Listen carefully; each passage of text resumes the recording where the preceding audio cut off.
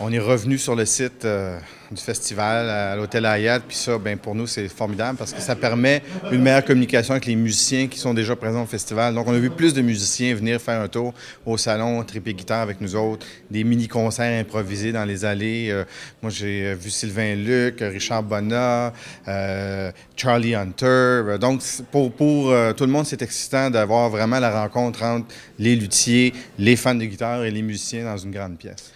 Euh, mon Dieu, j'en ai vu plusieurs. J'ai vu un concert de Bruce Foreman euh, que j'avais vu en Californie, qu'on a fait venir ici. Et puis, c'est un des seuls concerts que j'ai fait vraiment de A à Z. Et lui, m'a jeté sur le comme vous dites. Euh, j'ai été très impressionné par Sylvain Luc, pas parce que j'ai vu son concert, mais parce que j'ai fait la visite du salon avec lui. On a passé deux heures ensemble à à, essayer des guitares. Lui essayait des guitares et jouait pour moi. Alors, vous comprenez, j'ai eu mon, mon, concert privé une quinzaine de fois de Sylvain Luc. C'est du bonbon.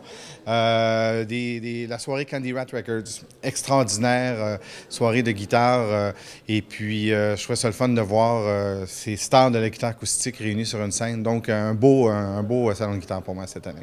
En terminant, un petit retour sur le Count Blues qui était aussi couronné de succès. Oui, c'était notre cinquième camp blues euh, avec des étudiants qui ont eu le bonheur de graduer vers la grande scène TD cette année.